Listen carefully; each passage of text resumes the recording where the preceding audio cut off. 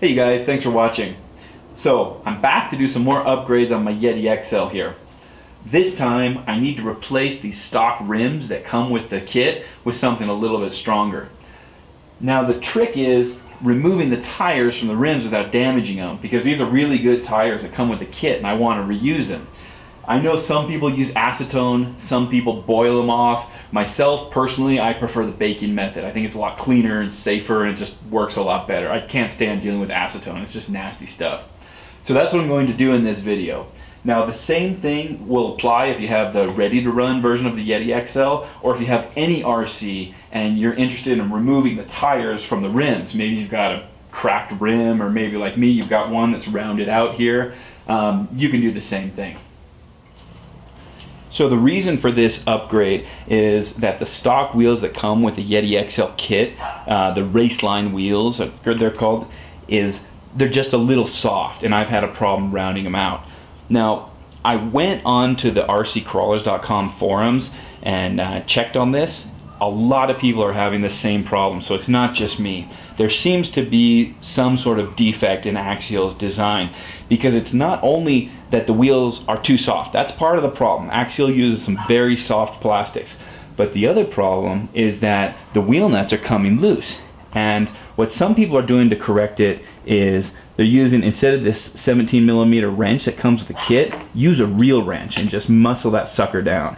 That'll help keep it on there. And another thing that people are doing is they're doubling up the, the wheel nuts like this. And that seems to help quite a bit also. These are just um, nuts that came from a, an RC8, but they're all 17 millimeter, so they're compatible. Um, another thing people are doing is throwing on a drop of uh, thread lock on there. And so all that seems to help uh, prevent these wheel nuts from coming loose, which in turn prevents the hex on the inside from, from rounding them out. So if you're watching this and you haven't stripped out your stock wheels yet, you know, take that advice. It's they're not my ideas. These came from rccrawler.com, uh, but unfortunately, I didn't get that information until I'd already run my Yeti XL and I've stripped out some of the wheels. So, quick, easy, cheap solution. Some team associated bead locks uh, for their rival monster truck. They're supposed to be a direct fit, so I'll see how that works out. One thing I will point out it says bead lock. I don't know if you can read that. Everywhere you see the description for these, it says bead lock. They're actually not. They're fake locks. I got one out of package here to show you. these are plastic. That was a surprise for me. I thought they were actual bead locks because the description says beadlock. the product says beadlock on it. They're not. You need to glue them. So anyway, they're something like $10 on Tower.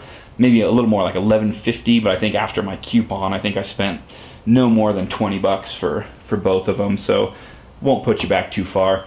I've also seen people using Thunder Tiger MT4 wheels, and I know people are using the Proline F11s and Desperados uh, as well, but those require a little bit of modification.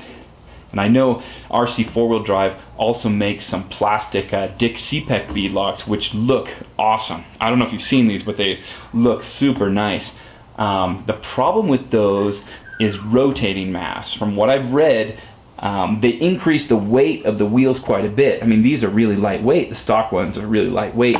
Those RC four-wheel drive beadlocks are fairly heavy. I forgot the exact grams, but they would add a lot of rotating mass. And the same goes for some of the aftermarket tires I've seen. I know RC four-wheel drive makes some mudslingers that I'd love to put on here because they look just awesome. But what I've read is that you start increasing this rotating mass and you're just asking for broken parts because the drive lane, drive train, excuse me, is already pretty strained as it is. I'll show you something here. I've got an unnatural spin to my front wheel there.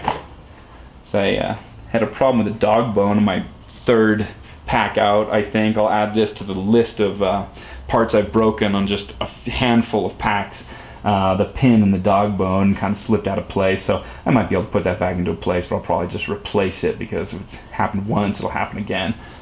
I'm just using this as an example that uh, you start increasing the rotating mass of these wheels and you're just asking for broken parts. I mean, I don't know if rotating mass had anything to do with this dog bone breaking, but I'd say it's a fair fair bet you'll start breaking things in the drivetrain if you increase the weight there.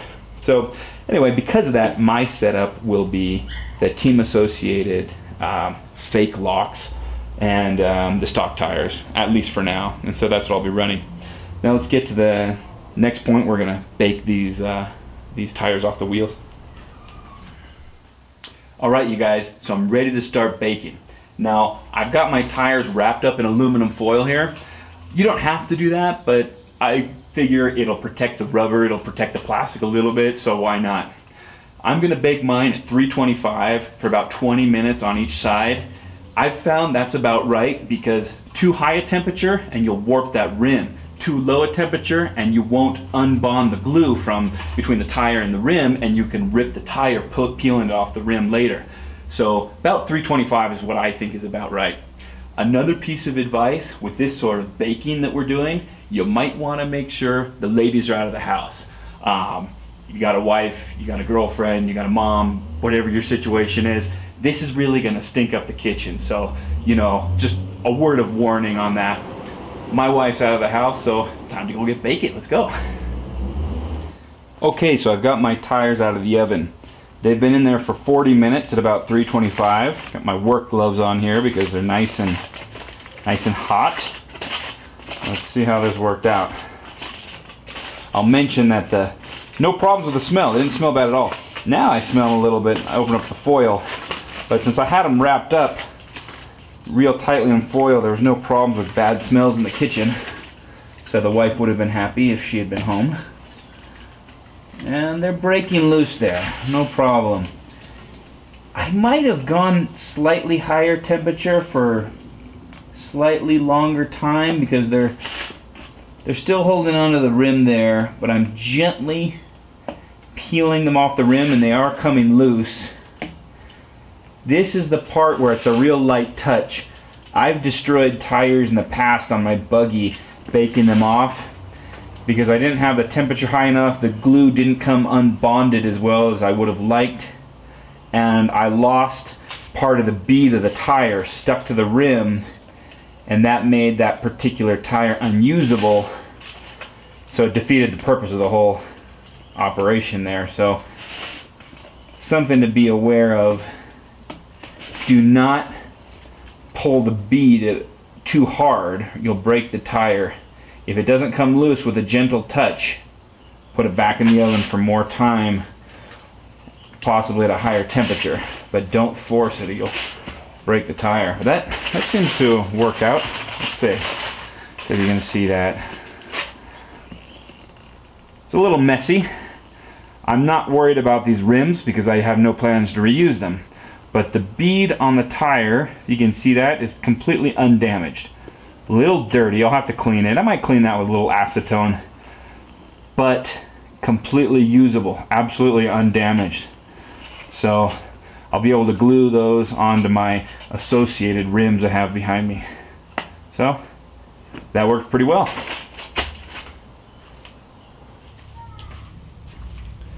All right, you guys, I've got my new wheels glued up to the tires. And one thing I noticed is I unglued all five tires. I didn't need to do that because I've only got four new wheels, but anyway, I did that without thinking. But this way, I've got a, one extra to, to show you what I did. I had to clean the beadlock ring right here because there was quite a bit of leftover glue. It was uh, pretty dirty. So I used a little acetone and I actually ended up sanding it. I got some nice coarse sandpaper and sanded that off to make a nice clean surface for the for the re-gluing. So uh, that was uh, something that was necessary. And another thing that I did is I wrapped um, some duct tape on the inside. The reason why I do this is these tires have such huge sidewalls here and the vehicle is going to go at pretty high speeds that they just turn into pancakes, even on 4S. I don't run this vehicle on 6S because I've got plenty of breakage on 4S. But even on even on 4S, they just, um, you know, they really balloon out quite a bit. And I think a few rounds of duct tape will help that a little bit. Now, I've heard of a lot of guys using Gorilla Tape. So if you can get Gorilla Tape, that's actually better. I can't get it where I live in Ecuador, but duct tape seems to do the trick. So that's what I did there, back. And this is my setup. You know, I'm I can't say I'm completely excited about these fake bead locks here. I don't really like them. I think they look cheesy. I thought they were real bead locks when I was buying them. I would really love to have some some real beadlock wheels for this vehicle, but the only ones I know of are the RC four-wheel drive Dick Cepek beadlocks, and those ones look awesome. But like I mentioned before, they're just uh, they're real heavy. I'm not sure if the drivetrain can handle it. One thing I did on the other side is I left off the the cheesy little beadlock rings here because they're not functional.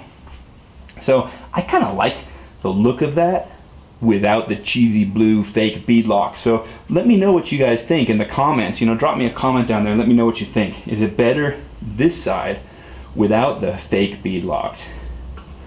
Or is it better with the fake beadlocks? Since they're not really scale, I think I might run it without them.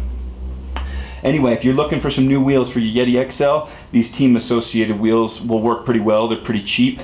If you're still running your Yeti XL on the stock wheels, be sure to double up those wheel nuts, tighten them down real well, and maybe even use a drop of thread lock. You'll get a little bit more use out of them. But if you're like me and you've already, you know, rounded them out, then these these aren't a bad option. Um, that's it, you guys, for this uh, wheel upgrade. Thanks a lot for watching. I really appreciate it. Uh, feel free to uh, subscribe if you haven't already and hit that like button. It really helps me out. All right, you guys, until next time.